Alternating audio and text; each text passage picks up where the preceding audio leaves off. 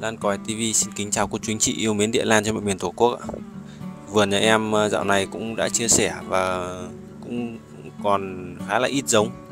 Thì tiện hôm nay là em ờ, nói chung là tận dụng tối đa để có thể có thêm nhiều giống nhất có thể. Thì ờ, chia sẻ với cô chú anh chị mới chơi cái phương pháp tách âm. Thì đây là một cái chậu em đã từng tách âm, hiện tại thì đã có hiệu quả. Lấy ví dụ cho cô chú anh chị thì chậu này trước nó có một thân, một già một lá. Đây, em đã tách ra đây, một thân già một lá và một cái thân tơ ba lá như này. Thân tơ ba lá này, thì hiện tại tách âm đã có hiệu quả là thân già một lá. Đã, nó đã có một măng. Và cái thân ba lá kia cũng đã có một măng to. Đấy. thì cái dân thân già một lá kia thì chắc chắn là nó nó măng nó nhỏ, nhưng mà tận dụng tối đa là có thêm được một măng. Nếu mà không tách thì không có cô chú anh chị ạ. Đấy, cô chú anh chị nào chơi kiếm lá cứng thì thường thường cũng rất là hay áp dụng cái phương pháp này. Địa lan thì em cũng dùng cho một số giống thôi như cái chậu vàng lá võng này. Hôm nay em cũng tách âm này. Đây một cái thân già cột lá này thân già nhất này sẽ tách ra để tận dụng tối đa chứ để im thì nó cũng không ra mầm cô chú anh chị ạ. Đấy, chúng ta tách uh, âm ra thì nó cũng không phải nhổ cây ra ờ, không đả động gì đến nó chỉ việc tách rời ra khỏi cái cặp kia thôi. Đấy. thì ờ, cái phương pháp này em thấy cũng rất là hay áp dụng rất là hiệu quả đối với uh, cô chú anh chị nào chúng ta uh, tăng cường thêm giống. Tuy thì cái mầm cái măng nó lên chứ không được đạt đối với những cái thân già xương cu đế nhưng mà chúng ta vẫn có thêm được mầm thêm được măng. Ờ, có thêm được thì lại gột lại thôi. Tuy nó nhỏ nhưng mà ít nhất thì nó cũng tương lai nó chúng ta chăm cũng thêm được thân. Đó như cái chậu hồng vũ này cũng là một sản phẩm mà em đã tách âm đây. Hiện tại thì nó lên khá là đẹp rồi khi mà tách âm thì nó thêm được mang nào thì tốt, mang đấy thôi, cô chú anh chị ạ. Chúng ta chăm sóc tốt thì nó lại to, nó nhỏ, từ nhỏ nó lại thành to thôi. Không có nhỏ thì sao có to, cô chú anh chị? Đấy, như ừ, cặp này là cũng tách âm được này, cô chú anh chị này. Đấy.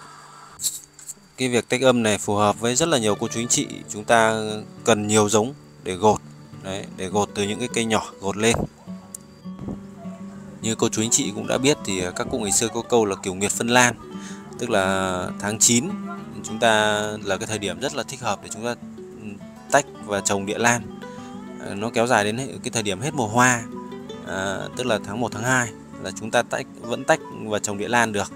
Nó rất là thích hợp cái thời điểm chúng ta ngắt dinh dưỡng của cây và trồng mới. Cái việc tổn thương dễ lúc đấy thì nó cũng nó khá là uh, không ảnh hưởng đến cái việc chúng ta ngắt dinh dưỡng vào cái thời điểm đấy để cho nó uh, phát triển những cái măng mầm mới. Tuy nhiên thì đến mùa hè thì là cái thời điểm mà rất là hạn chế khi chúng chúng ta nhổ ra và trồng mới. Nên cái việc tách âm này nó rất phù hợp vào những cái thời điểm như mùa hè.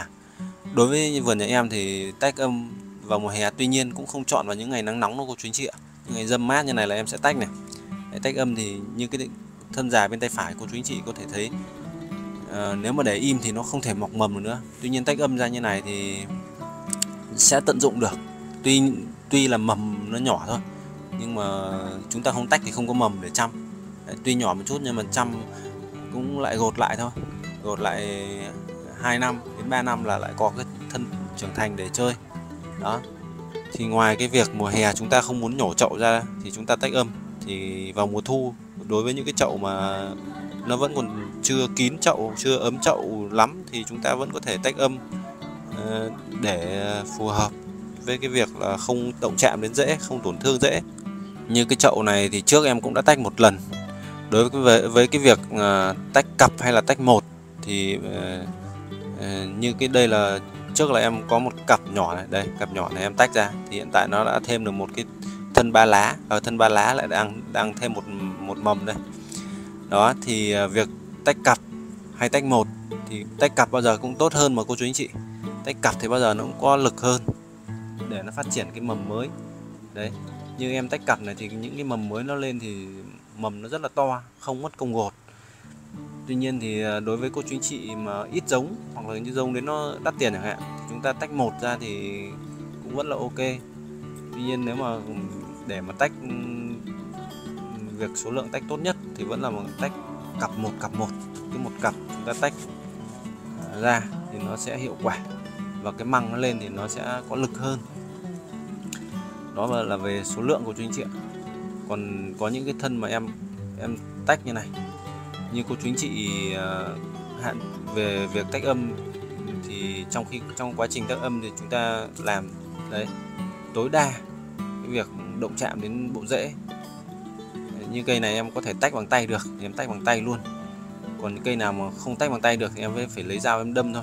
Đâm lắm lúc là cũng rất là sợ ờ, đâm vào rễ của chú anh chị ạ đấy. những cây này mà chúng ta banh có những cây nó rất là giòn.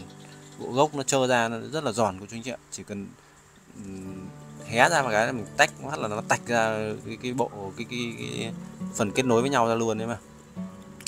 Cũng không phải có cái gì quá là cầu kỳ thêm một cái ví dụ nữa cho cô chú anh chị xem, theo dõi này. Thì cặp đây, cái thân già này em tách âm ra này. Thân già nhất này em cũng tách âm ra, cũng được thêm một măng. Tuy nó nhỏ thôi nhưng cũng có được thêm một măng để chăm sóc của chú anh chị ạ. Còn cái cặp bên này thì cũng thêm một măng, nhưng mà măng nó sẽ trưởng thành, nó sẽ tốt, nó sẽ có lực hơn, măng to hơn. Đấy, cặp em tách âm một cặp này được thêm một măng rất là to, khỏe. Còn cái thân già được thêm một măng, tuy nhỏ thôi. Đấy thì ở vườn nhà em cũng ờ, có khá là nhiều chậu giống như thế này. Em ờ, thường em cũng sẽ để một cái thân già nhất tách riêng đấy, để tận dụng thêm kiểu gì nó cũng thêm được một măng cô chú anh chị ạ. Nếu không tách là sẽ không thêm đâu không thêm được măng nào đâu. Nó chỉ phát triển ở cái phần măng bên cái ờ, cặp kia thân to rồi thôi. Đấy tuy nhiên tách ra thì sẽ thêm được. Như nhà em thì thường thường là em sẽ tách một hai như chậu này là em tách một hai này một thân lẻ và một cặp. Đấy.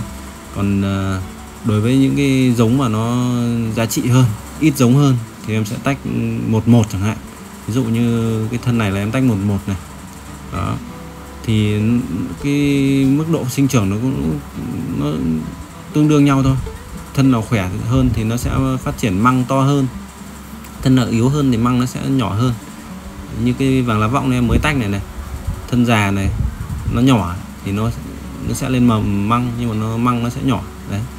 Củ nào có lực thì nó sẽ khỏe hơn thôi. Video của em ờ, cũng xin được tạm dừng tại đây.